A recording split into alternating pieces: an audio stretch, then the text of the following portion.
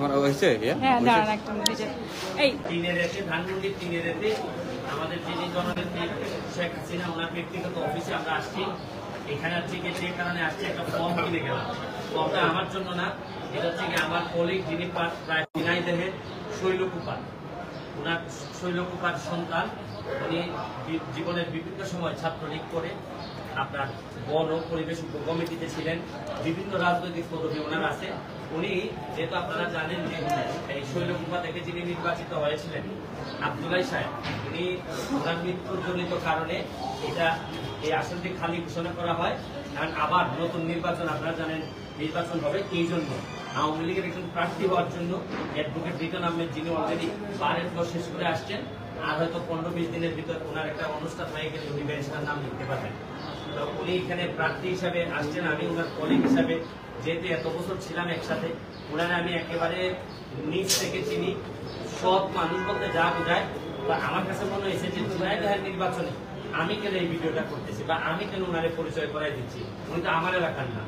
আমার প্রশ্ন হচ্ছে গিয়ে যে বঙ্গবন্ধু সোনার বাংলা বানাইতে গেলে শুধু আমার হবিগঞ্জের একজন এমপি আমাকে দিয়ে হবে না। বিভিন্ন জায়গায় যারা সৎ লোক আছে, তাদের নাম বলে দিতে হবে। ওই এলাকার মানুষ তাকে নির্বাচিত করবে কি এটা এলাকার মানুষের দায়িত্ব। কিন্তু আমার কথা হচ্ছে যে, এই লিটন আহমেদ যদি কারও টাকা মেরে থাকে, সে যদি কোনো বালুর ব্যবসা, মাটির ব্যবসা, এইসব ব্যবসা করে থাকে, তাহলে তার এলাকার মানুষ এখন আমার ভিডিওতে লেখো যে এই লোক, এই ঝিনাইদহের শৈলকুপাতে বহু মানুষের টাকা মেরে দিছে, তোলের নাম করে ভাঙ্গায় খাইছে। এরকম যদি হয়, তাহলে আমরা রিটার্ন করব। কিন্তু যদি না হয় সে যদি বঙ্গবন্ধুর আদর্শকে ধারণ করে বহুদিন সে যদি নির্যাতিত, নিপীড়িত যা যা হওয়ার হওয়ার পরে সে যদি কোনো দুর্নীতি না করে, সে যদি মনে করেন ওই এলাকার নেতা হইতে চায়, আমি মনে করি অন্য এলাকার লোকেরও তার ব্যাপারে একটা প্রশংসা করা উচিত। আমি যেভাবে অন্য দুর্নীতিবাজ আমার এলাকার না হইলে আমি যেভাবে বলি, আমার মনে করি যে যারা শত্রু তাদের ব্যাপারেও কথা বলা আমার দায়িত্বের মধ্যে পড়ে। এই জন্য আমি ঝিনাইদের শৈলকুপা যারা আছেন, যারা অন্যান্য যারা ক্যান্ডিডেট আছে নির্বাচন করবেন, তারাও ভালো লোক। আমি মনে করি তাদের জন্য আমি দোয়া করে দিচ্ছি। নিশ্চয়ই তারা এলাকায় করছেন বলে তারা নির্বাচন করবেন। তারপর আমি তাকে ব্যক্তিগতভাবে চিনি, এই জন্য আমি মনে করি এরকম একটা লোক যদি এমপি হয়, নেতা হয়, তাহলে আমি যে গতিতে কাজ করতেছি আমার মাধবপুর সোনারঘাটে, আমি এই গতিতে আমি তাকে সহযোগিতা করতে পারব একই গতিতে। তাকে দিয়েও কাজ করা সম্ভব। এই পর্যায়ে আমি রিটন আহমেদকে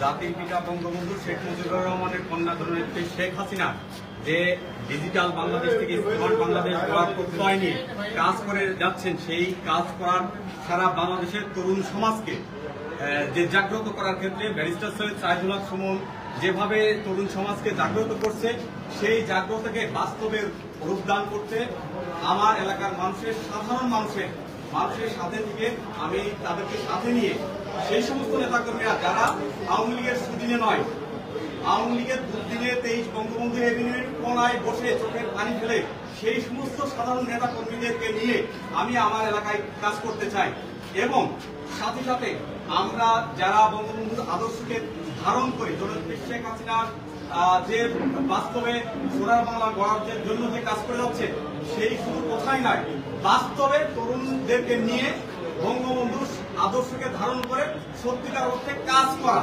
কথা দিয়ে নয়, সত্যিকার অর্থে কাজ করা, সেই প্রত্যয় ব্যক্ত করে আমি আজকে একটা নমিনেশন ফর্ম কিনলাম আমি প্রত্যাশা করি যে দলীয়ভাবে সবার প্রতি আমার শ্রদ্ধা আছে, যারা সিনিয়র নেতৃবৃন্দ এখানে দলীয় মনোনয়ন ফর্ম কিনেছেন, সবাই যোগ্য। আমার, আমি মনে করি আমার চেয়ে সবাই যোগ্য। তো তাদের প্রতি শ্রদ্ধা রেখে আমি আমার এই আশাবাদ ব্যক্ত করছি এবং আমি ভবিষ্যতে আমার নমিনেশন না পাইলেও আমার এলাকার মানুষের থেকে আমি কাজ করব। আমি বক্তব্যটা শেষ করার আগে শুধু এইটুকু বলতে চাই, হবিগঞ্জ বদলানোর আমার এলাকার ইতিহাস বদলানোর কাজ আমি শুরু করছি। দুই বছরের মধ্যে আমার এলাকা চিনতে পারবেন না। অলরেডি যেসব কাজ শুরু হয়েছে, আপনারা চিন্তাই করতে পারবেন না।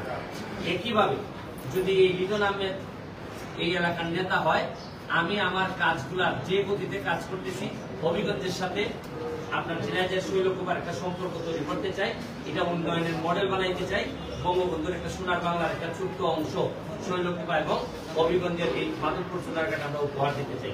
আমাদের সবার জন্য দোয়া করবেন ওনার জন্য দোয়া চেয়ে নিচ্ছি। যেহেতু সৎ মানুষ তার জন্য যতটুকু জায়গায় যাইতে হয় আমি চেষ্টা করব। তারপরও তার যে ওয়াদা এই ওয়াদা ভাঙতে দিব না। ভালো থাকবেন সুস্থ থাকবেন জয় বাংলা। জয় Bangla. Thank you thank you আপু মোবাইল আপু Thank you so much. So, এতক্ষণ দেখছিলেন লিটন ভাই। লিটন ভাই হচ্ছে লিটন হচ্ছে আমাদের একজন অ্যাসোসিয়েট হ্যাঁ হ্যাঁ জি আসছি। লিটন হচ্ছে আমাদের একজন অ্যাসোসিয়েট এবং উনি একটা ফর্ম কিনলো ঝিনাইদা এক শোলকুপা থেকে। এবং আপনারা যারা জানেন না তাদের জন্য জানাতে চাই যে আমার আমার নানা বাড়ি হচ্ছে চুয়াডাঙ্গা মেহেরপুর সো লিটন ভাইয়ের জন্য অনেক অনেক শুভকামনা থাকল। এবং আমার এখানে যদি ফলোয়ার্স করে থেকে থাকেন চুয়াডাঙ্গা মেহেরপুর ঝিনাইদা শোলকুপা তাহলে অবশ্যই লিটন ভাইকে ভোট দেবেন। অ্যান্ড আরেকটা কথা বলতে হয় যে, উনি একেবারেই আসলে অনেক সৎ একটা ব্যক্তি এবং শুধু বলার জন্য বলা না, যেহেতু আমিও অনেকদিন ধরে কাজ করছি লিগাল লাইটসে তো সেখান থেকে বলছি। সবাই অনেক অনেক ভালো থাকবেন, আল্লাহ হাফেজ।